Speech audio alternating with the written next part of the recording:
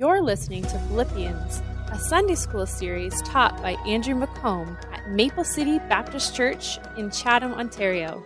For more information about Maple City, please visit us online at maplecitybaptistchurch.com. Welcome back. Um, we are going to get back into our study of Philippians. We actually only have uh, this Sunday and then next Sunday, and we will be through the book of Philippians, um, which is, yeah. Yeah, yeah, it, it, did go fast. It went remarkably fast. Um, it's an amazing book, and I've really enjoyed going through it. Uh, and I'm, I'm, I very much enjoyed uh, preparing for uh, this morning. So let's get into it. Let's uh, read the text that we're going to be going over, then we'll pray, and then we'll, we'll get into it. If you have your Bibles, turn to Philippians 4. And be, uh, we're going to begin reading in verse 1 and we're going to read through to verse 9. Philippians 4, verse 1 to verse 9. It says, Therefore, my brethren, dearly beloved and longed for, my joy and crown, so stand fast in the Lord, my dearly beloved. I beseech Euodias and beseech Syntyche that they be of the same mind in the Lord. And I entreat thee also, true yokefellow, help those women which labored with me in the gospel, with Clement also, and with other and with other my fellow laborers whose names are in the book of life. Rejoice in the Lord always, and again I say, rejoice. Let your moderation be known unto all men. The Lord is at hand. Be careful for nothing, but in everything, by prayer and supplication with thanksgiving, let your requests be made known unto God. And the peace of God, which passeth all understanding, shall keep your hearts and minds through Christ Jesus. Finally, brethren, whatsoever things are true, whatsoever things are honest, whatsoever things are just, whatsoever things are pure, whatsoever things are lovely, whatsoever things are of good report, if there be any virtue and if there be any praise, think on these things. Those things which ye have both learned and received and heard and seen in me, do. And the God of peace shall be with you. Let's pray. Dear Heavenly Father, we thank you for this day. Uh, God, we thank you for the first uh, nine verses of the fourth chapter of the book of Philippians. Um, we thank you of the thank you for the um, the truth that's within there. We thank you for uh, just the the major themes we have this morning of, of joy uh, and of peace, Lord. Uh, we live in such a turbulent world, uh, and yet as Christians, we can look uh, to the author and the perfecter of our faith, and we can just have immense joy and we can feel the, the peace and we can sense the peace of God that surpasses all understanding. God, how amazing this is. How often we overlook it, but Lord, I pray that this morning we would just stop, that we would be still, and that we would consider what it means to sit under and to just enjoy the rest of the peace of God. In Jesus' name we pray. Amen. Amen. Walter B. Knight says, Joy is the flag that flies over the castle of our hearts, announcing that the king is in residence today. I read that quote this week and I thought about it over and over and over again. Just this beautiful picture of a, of a castle who's proudly flying this flag because it means the king is in the castle. The king is in residence, right? And this is how a Christian should uh, approach the, the idea of joy, right? That we, we are to be joyful because the king is in residence. Bernie, do you have a yeah, point on that one? Comment. If you're walking down the street, look at people's faces. Yes. Very few that are smiling. Mm-hmm. Right? But the ones that smile, mm. they've got the joy of the Lord in there. Body language is amazing, isn't it? Yeah, it, it tells so much. Agreed. Our passage this morning is true to the book of Philippians, and it continues to weave the theme of joy through the book. The second theme of this passage this morning reveals the source of joy for a Christian, which is salvation and the peace of God that comes with that. We begin this morning with Paul again reminding the Philippian congregation of his love for them. Pay close attention to the language that Paul uses to describe his love for the Philippians. He uses terms like they are dearly beloved, They are longed for. They are his joy and his crown. We continue get to get the idea, even in the fourth chapter of this letter, that Paul has very, very strong affections for this group of believers in Philippi. When Paul uses the word longed for, the sentiment that is emphasized is a strong desire. Paul yearned to have Christian fellowship. He needed it, right? And again, remember the context that we're in here. Paul is in prison. He's in Rome. He most likely has some Roman guards chained to him. Earlier in the book, we actually uh, found out that, that Paul was Paul, and as Paul was chained to these, these Roman guards, he was preaching the gospel to them, and they were, they were becoming uh, Christians as well, right? They were being saved. Uh, but yet we still see Paul here just yearning for the, the people that he has had Christian fellowship with, and he, he doesn't have that opportunity with the, the church in Philippi right now. I want to stop for morning this for a moment this morning and contrast that with uh, again the, the 21st century Western idea of Christianity, right?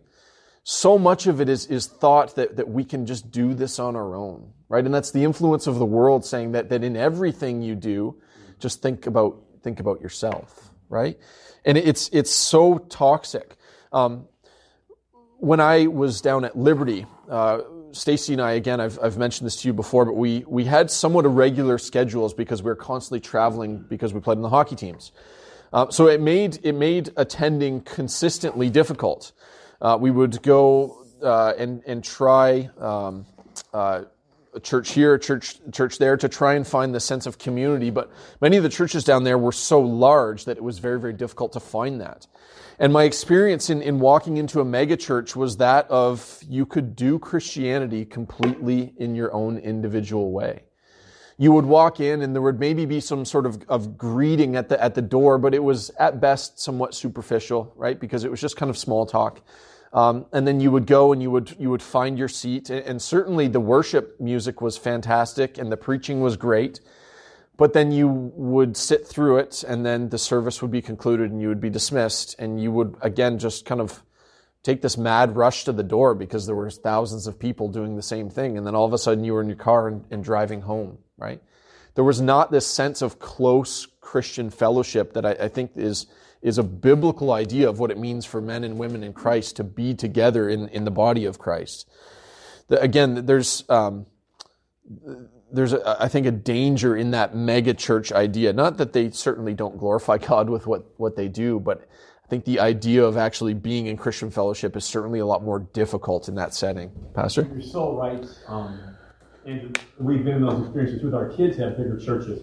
But it's a it's a danger for small churches as well. Mm-hmm. That we, we get in our Good own point. groove and people come in. Good point. We don't think about them as coming for the first time yeah. or being a visitor or how they're responding because yeah. we're comfortable with our family. Yes. And we like our family. It's like we, we get the sense of family, but we forget what brought us was a sense of family. Yeah. And that has to be perpetuated. Yeah, that's a great point that we shouldn't overlook that. Thanks for adding that, Pastor. Paul goes on to emphasize the words, my joy and my crown. The word used for crown is stephanos in the Greek, which conveys the idea of a, a crown of a, a victor, a, a, victor wearing the, the crown. If we think about Paul's life after the road to Damascus and after he was saved, and certainly it's, it's true for all of us that we are all engaged in this spiritual warfare. And Paul was, was certainly uh, engaged in this warfare constantly for the hearts and minds uh, of people as Paul describes them in this way, I can only imagine that he's thinking of the fact that, that in this spiritual warfare, as he's going through it, that the Philippian congregation is just one victory in that spiritual warfare, right? He goes in, as we read in Acts 16, he goes into Philippi. He sees this devout group of, of women that are, are worshiping God. He, he gives them the full picture of what it means to be in Jesus Christ. Uh, and it's a glorious day. There's, there's, there's victory in this warfare. Paul then goes on in verse 1 to call the Philippians to stand fast in the Lord. Paul and Silas had experienced persecution when they planted the church in Philippi. Right? Again, the first, uh, our first Sunday that we, we dove into uh, the book of Philippians, we actually didn't spend much time in Philippians. We actually spent most of our time in the book of Acts because there's an account of this church being founded in Acts. And we see that Paul and Silas enter Philippi. Uh, they, they again come across this group of devout women. They, they preach the gospel to them. They are saved. It's a joyful time. There's rejoicing. But then immediately we see that Paul and Silas undergo pretty severe persecution, right? They're arrested. They're, they're put in jail. They're, they're beaten. Uh, and then they're let go. But that, that persecution certainly did exist in, in that city. Now, I don't want to read into uh, what's not in the text because I think it's it's important that you, you don't take liberties there. But I think that it's safe to say that I, you could venture to, to suggest that the the Philippians were actually continuing to experience that persecution, mm-hmm. right? That Paul and Silas had left, that the church was was certainly doing well. It was it was growing, but I think it's probably safe to say that they were continuing to to actually suffer persecution even after they they had left. Now, in this verse, we come across a, a seemingly obvious detail, but take a moment and, and let's just slow down and look at it a little bit closer to. Who does Paul call the Philippians to stand fast in? The Lord, right? It's not stand fast in your own knowledge. It's not stand fast in your your um, your feelings. It's not stand fast in your experience, right? And, and so many of us today, influenced by the world, I think we tend to go back there but Paul calls them to stand fast in the Lord, right? We see here the wisdom of the world versus the wisdom of God. The wisdom of God as is found in his word. And I would ask you this morning, to what are you basing your opinions, right? When you have to make a decision in this life, where are you going to make that decision, right? When you're raising your kids, what what worldviews are you using in, in, when you're raising your kids right? When you're at work are, are, you somebody completely different than you are when when you're at church right? We see here the wisdom of the world versus the, the wisdom of god and it's paramount that we stand fast in the lord not just on sunday but monday through sunday right? Just day by day. Eric. On one of your points yeah. with the word brethren and i think most of the time, it's in our inclination with Western influence to look at all these verses and personalize them just to me. Mm-hmm. But this brethren emphasize it's the group, yeah, it's the church. Yep. So now combining that to stand fast, I can stand fast and not care about anybody else standing mm-hmm. fast. But I think the context is we as a church need to stand. Yes, agreed. Agreed. Good point. Good point. let's look to verse 2 and let's, let's read verse 2 this morning. I beseech uh, Euodias and I beseech Syntyche that they be of the same mind in the Lord. So here we're introduced to two new characters, and this is actually the only time in the entire New Testament where these particular women are mentioned uh, anywhere, anywhere in the Bible. Paul here reveals a problem that is occurring in the Philippian congregation. Now, the text is not specific in the details about what the problem actually is, but I believe we can call, I, I believe we can draw a couple conclusions uh, this morning. Number one, we don't know for certain, but these women were quite possibly among the first converts in Philippi, as recorded in Acts 16. Paul and Silas came across these women again, preached the gospel, they were saved. Euodias and Syntyche were likely among them, as we will see from evidence later in the text here. Number two, these women were obviously sowing discord in the church as Paul finds the problem serious enough to actually include their names in, in the text, right? That's not really a common thing that you see in the epistles as you go through, but their, their specific names are mentioned.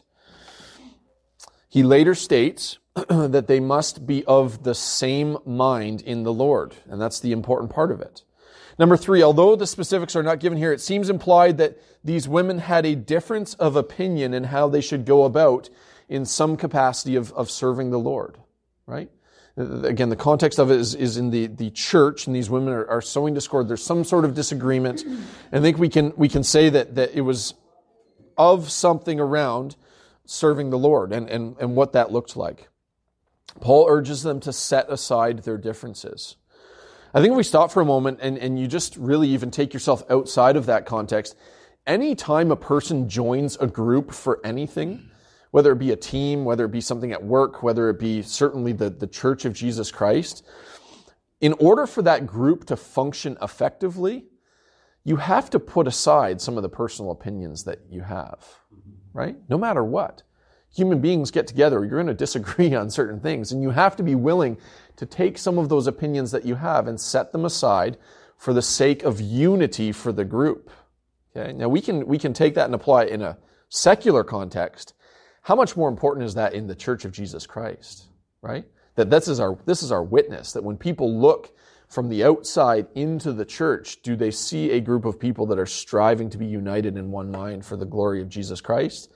Or, and sometimes I think they do, see a group of people that are dysfunctional, right? Which is tragic when you consider what is at stake here. Let's move to verse 3. In verse 3, Paul reveals how much he desires these women to be in unity, so much so that he sought the help of a third party. Look at verse 3. Look at the first part of verse 3. It says, And I entreat thee also, true yoke fellow, help these women which labored with me in the gospel. Now, I, I was, to be honest, somewhat mystified by this verse when I first read it. Uh, so I, I, dug into some commentaries on this verse this week, uh, and I, I found a, a, couple different opinions that scholars seem to have in regards to what is meant here by yoke fellow. So some think that Paul was f- referring to a specific person by the name of uh, Sasuji, which means yoke fellow.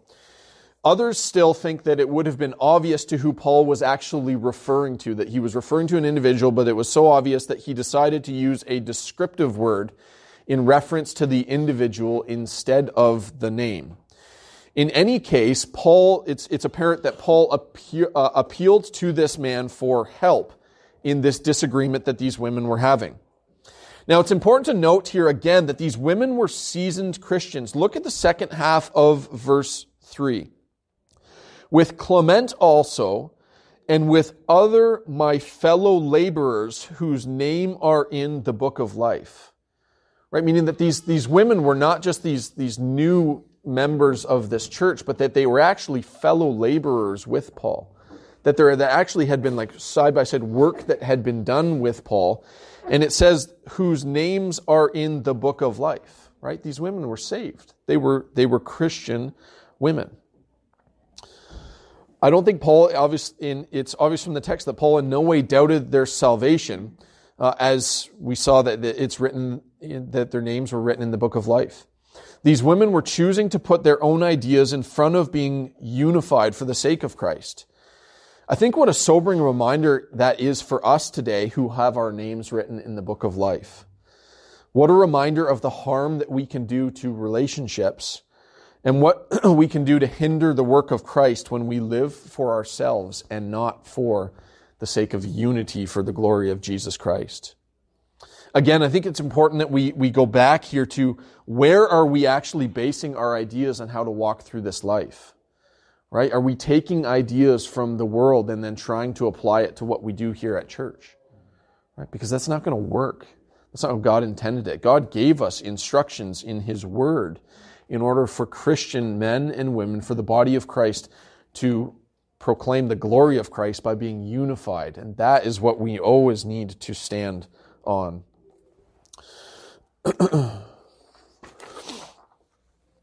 In Proverbs 2, verse, uh, chapter 2, verse 6, it says, For the Lord gives wisdom, out of his mouth comes knowledge and understanding. Right? Are we seeking, are we carefully poring over the scriptures each day in order to seek the wisdom that comes from this book so that we can then actually take it and, and walk and, and, and apply our lives. And I think, Eric, what you had mentioned, uh, certainly that applies individually. But again, in the context, which was a really good point, in the context of the situation that we're, we're talking about here, that, that applies as, as a church body, right? Which is really important. Andrew, as, far as the, the idea that Eric talked about unity, I think you find in all of those epistles, and even the Lord's Prayer, there, there's this sense of it's it's brothers and sisters in Christ. There is this, mm-hmm. this unity, and in a family, you have to die to self. Because yeah. when you yeah. have your own ideas and you're selfish, nothing works. And I don't know what the problem with these women are. It might have been the roll of toilet paper, over or under, right? Which you problems in churches today. Yes. Right? But, but that's but that's the kind of stuff that we want to we want to die on that hill. And that's just not the way God intended his family to work. Yep. That we die to self. For sure. We, we, really do have to live for other people. Yeah. And so th- that's a great point about the fact that there it, it's unity in a family. Mm-hmm. No more individual stuff. It doesn't work. It can't work. Yeah. And that idea is important when you're talking church expansion. church Yes. Building program. Potential It's building. Not what's good for Vernon. Yeah. It's what's good for the flock. That's why. That's right. And, uh, and do we have, do we have children, do we have young people that are gonna benefit from Mm-hmm. that? Absolutely. And so as seniors, we gotta say, no, it's not about me. The Lord has looked after me so well, I lack no good thing. Yep. And my job is to make sure that they have a Christian heritage, Yeah. that teaching is available. Praise the Lord. Praise the Lord. Agreed. Um, I love what Alistair Begg says when he wisely states that we should keep the main things the plain things and the plain things the main things. As we search the scriptures, we are not going to find every minute detail for every possible situation in our life. That is why wisdom is so valuable, isn't it? Right? You open the book of Proverbs and it talks about just seeking after wisdom, looking for it in the street corner, right? Just, just, just going after wisdom. And it's so important to do that. Many of us would do good to understand that if it is not a plain, or if it is not a plain reading of scripture, that we should not be so dogmatic about little things, right? And again, we go back to our, our text here with Eutychus and, and Syntyche, that I'm not sure what the little detail was, but clearly the Lord cares a whole lot more about the unity of the body of Christ than he does about how they should go about actually serving, right? That's really, really important to understand from the, the context of what we're talking about today. Yep. Unity in the church isn't possible if we don't love one another. Mm-hmm. You know, that's that's the that would be the foundation. The linchpin. Yeah. That's what you said, out here, unity would be impossible without. Without without loving one another. Amen.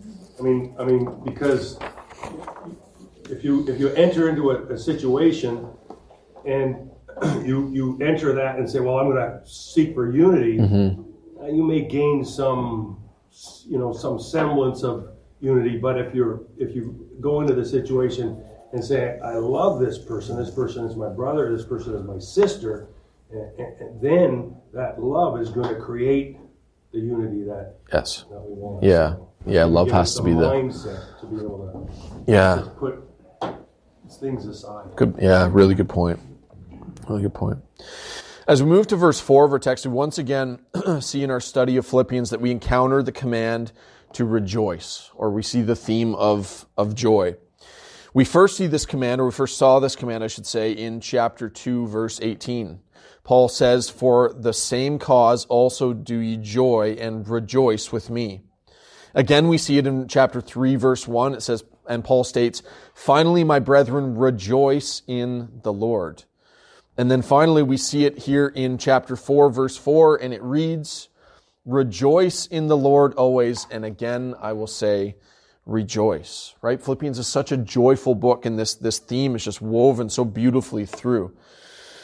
Karl Barth, in his brief survey of the commands to rejoice in Philippians, remarks that joy in Philippians is a defiant, nevertheless type of joy, right? And you look at Paul's life and you think of Paul's life, and if anybody had an excuse to be uh, grumbling or upset or like, why me, right? Play the victim, it is the Apostle Paul.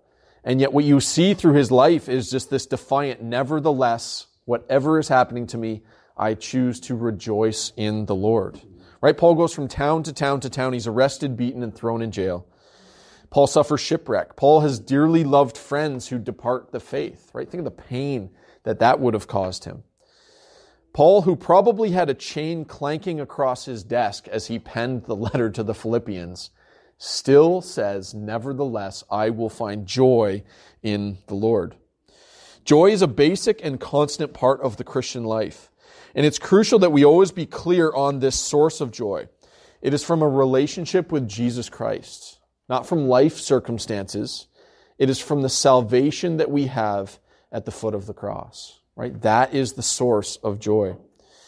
I'm going to read for you this morning the, the words of uh, the great uh, 17th century mathematical genius Blaise Pascal. Uh, I was, I was, I've been doing some reading recently on a, a, little bit of his life, and I just found this absolutely fascinating. So this is a man of, of just massive intellect. He was, he was a genius, uh, and he spent the first thirty some years of his life uh, running from God, just rejecting the idea of God. Uh, and then in the year 1654, and in his diary, he calls it the year of grace. Listen to the diary that he recorded. Fire, God of Abraham, God of Isaac, God of Jacob, not of the philosophers and of the learned. Certitude, certitude, feeling, joy, peace. God of Jesus Christ, my God and your God, your God will be my God. Forgetfulness of the world and everything except God. He is only found by the ways taught in the gospel. Grandeur of the human soul. Righteous Father, the world has not known you, but I have known you. Joy, joy, joy, tears of joy. He goes on to say, and it's, quite long, but he goes on to say, This is eternal, that they know you, the one true God, and the one that you sent, Jesus Christ. Jesus Christ. Jesus Christ. I left him, I fled him, renounced, crucified. Let me never be separated from him. Eternally enjoy for a day's exercise on the earth. May I never forget your words. Amen. It's such a beautiful picture of, of a, a man that was, from world standards, he had, oh man, he was absolutely genius. He was absolutely brilliant. And I, I, I, thank the Lord that, that he had a pen in his hand when he came to salvation because it's such a, it's such a beautiful picture of, of the, the transition that you have. You were once dead, like I talked about last week, you were once dead. Jesus Christ, you now walk in, in newness of life with him, right? You are made new. And the joy that, that is brought in that process is a joy that can never be found in, in this world if you do not know him. We must constantly look back to our salvation and our citizenship in heaven. We must always go back to Calvary, to the finished work of Jesus Christ. What a never ending source of joy that is, is it not? In verse 5, Paul gives the command that our moderation be known unto all men. The word translated moderation has many shades of, of meaning. Um, Hendriksen in his commentary suggests that the best translation is big heartedness, but then he also suggests that one can substitute all of the following in for it forbearance, yieldedness, geniality, kindliness, gentleness, sweet reasonableness, charitableness, mildness, or generosity. I think perhaps we could say that this moderation can incorporate the fruit of the Spirit as recorded in the book of Galatians, can we not? Right, as I was reading through that list, I, I was just, I kept going back to this. This just looks strikingly like the fruit of the Spirit. In any case, it's important to note that Paul instructs the Philippians to be known unto, or that their gentleness be known unto all men, for the Lord is at hand. Right? This idea of, of the joy that we have, of the, the gentleness that we have, of the moderation that we're to have, it's not to be kept within us, but that everybody should actually be able to see that when they come into contact with us. Right? And again, that's not just a Sunday thing. That's a, uh, that's a throughout the week type of thing, right? That's a, when you walk into a construction site and everybody is, is spewing off the most foul language imaginable, and you're the one person there that's not doing that, it's not going to take long for people to notice that there's something different about this person, right? Or maybe you're in a, you're in a, a, a group of, of parents where there's, there's vastly different parenting styles that are being at play, ranging from all kinds of unimaginable philosophies that are are in parenthood today, uh, to, to, I would say, somebody that's striving at least to, to, to biblically raise their kids, right? And that moderation, that gentleness, that, that patience, that grace that is displayed, and certainly the discipline as well that's displayed in that parenting, that should become very evident very quickly among those, those group of parents, right? And it's not just those are two basic examples, but that it, it transcends really all of, of, of life that that when we display what God wants us to display, that people are going to see that, that we're different. When we look to verse 6, we come to a verse that is, I think, very convicting for every one of us in this room. Let's, let's read it here. Be careful for nothing. In everything by prayer and supplication with thanksgiving, let your requests be made known unto God. Be careful for nothing. Some translations actually use be anxious for nothing, right? This idea of being anxious or being, being worried.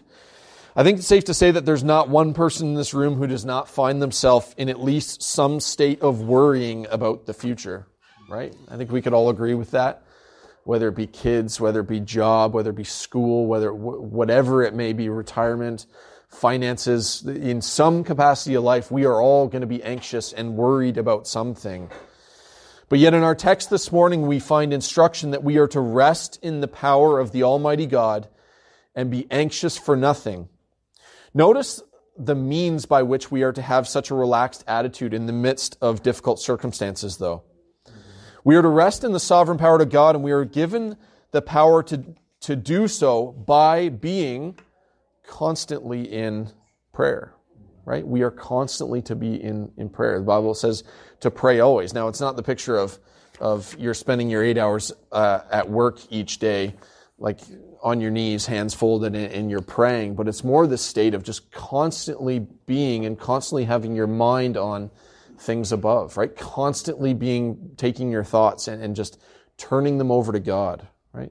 Constantly confessing your sin, constantly being in communion with, with the God of heaven. As we consider this, let's look to verse 7 and look to the amazing promise that we have in Christ Jesus. Verse 7 reads, And the peace of God, which passes all understanding, shall keep your hearts and minds through Christ Jesus. As Christians, we're to understand that there is nothing that can be thrown at us in this life that cannot be handled by a gracious Heavenly Father, right? He literally sewed the world into existence, right? He knows every hair on your head, He knows every detail of your life. He can handle whatever's making you anxious right? He can, he can handle that. We are to be a people that are calm and collected amidst a storm of difficulty. And my goodness, what a witness this can be. Bernie, you mentioned when you walk down the street, you see people's faces, right? And there's not many people that look joyful. There's not many people that look, that look happy, right? Life is, is hard. And certainly people that don't know the Lord, they, they, there is joy in life, right? I mean, they can have children, they can, they can have successes in, in their job, and that, that certainly brings a, a period of joy or a small period of joy, but to, to find an everlasting source of joy that's found in, in only one person, and that is, is Jesus Christ. You know, what's really telling is when people are working hard and they're smiling or mm. singing, mm-hmm. They, recognize the blessings that God has given them yeah. to do their work, and that is a wow factor. Yeah. You know, wow, look at that relationship. Yeah. Yeah. Um, my mind instantly goes to the the um, families with young children that have suffered in, in, this church or been connected to this church. Right? You think of the Mass with Brett and Alyssa, and then you think of the Hoffman family with Colette. I mean, I read some. Stacey read me some of those messages that that they were sending back and forth when when baby Colette was in her dying days, and it's like, how can you how can you be so joyful despite this is this is your circumstance? and yet it's just that that source of joy that we have in in God, right? The peace of God that it really in those situations it does surpass all of our understanding, and yet it's it's true. Do you see the connection between the peace of God and joy? I don't think that we can go through this passage and, and miss that. I think it's really important to stop there for a second and to see that, right? That we can have joy, that we can have an everlasting source of joy because of the salvation that we have in Jesus Christ and because when that salvation is true in our life, that we have the peace of God, right? The peace of God that surpasses all understanding and that pushes us to just be joyful as we go through this life, right? And what a, what an amazing thing that is. And I think that's something that we need to think uh, about far more often, that we need to meditate upon. Um, I think too many Christians go through this life never really, um, never really demonstrating, never really showing any joy in their life. And, and what a, a a testimony that is in a negative, negative sense as well. Joy is a winsome magnet that draws people in because it is one thing they do not have. Right? When the people see the church of Jesus Christ, when the people see the men and women of Christ, they should be drawn to that. Not because the church is in any way trying to, to look like the world to attract them, but they should look in the church and see people that are joyful and want to understand why that is the case. Let's move to verse 8. In verse 8, Paul commands the Philippians to focus on that which is beautiful. And it's actually quite a list. he asks them to focus or commands them to focus on what is beautiful and not what is profane. We are to be focused on the divine and not the things of the flesh, right? I think there's a great contrast at play here. That all of the things that we are to be focusing on, it's not in any way something that, that we can conjure up, right? It's not in any way something that, that, that comes from us. The things that we are to focus on, all good things come from God, our, our Father in heaven. And that's what we need to focus on. Colossians 3 2, right? Keep your mind on things above, not on things of this earth. If we're constantly uh, waking up each morning and having that eternal perspective, then we are going to be joyful. We're going to be concentrating on what we are supposed to concentrate on.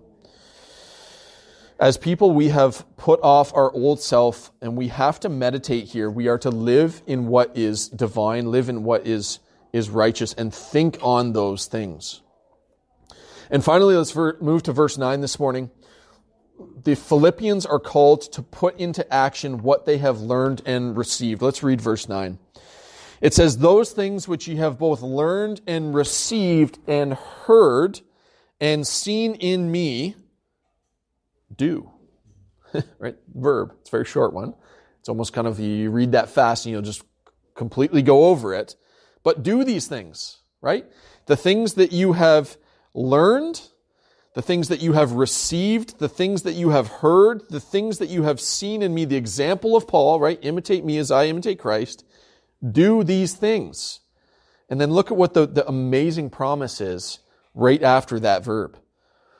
And the God of peace shall be with you. Right? Isn't that beautiful? Don't you want to go through each and every day of your existence here on earth, the God of peace being with you wherever you go? That no matter what comes at you in your life, right? No matter what sickness, no matter what destruction, no matter what death, no matter what happens, that the God of peace will be right with you. That's amazing comfort for Christians, and it's something that we need to meditate on far more often. Peace and joy are the main themes of our passage this morning. And it's, again, something I think that, that too many Christians just kind of breeze over and we don't think on often enough. We need to pause here. We need to, to stop. We need to meditate on the fact that we were dead. We are now alive in Christ and the joy and the beauty and the grace of that. But then we also need to, to look to the joy that we can now have as we walk through this life, right? As the Spirit sanctifies us and be, brings us more into the likeness of Christ, that our joy as we walk through this life and as we go through that process should be ever increasing as well right? That we would live understanding that we have the peace of God that surpasses all knowledge on our part. Let's pray, and then we'll, we'll be dismissed. Dear Heavenly Father, we thank you for uh, this morning. We thank you so much for the promises that you have in the book of Philippians, uh, specifically in the fourth chapter this morning. We can live in joy, Lord, and I pray that we would, that we have uh, an everlasting source of joy in the work, the finished work of Jesus Christ on the cross of Calvary. Lord, I pray that we would live understanding that we have the peace of God, which surpasses anything that we can understand. And Lord, what comfort that is for us. What comfort that is for us in times of plenty and what, what comfort that is for us in times of, of famine as well. That when we go through the difficulties and the hard times of this life, that we would look back to Philippians 4 and that we would remember those promises. In Jesus' name we pray. Amen.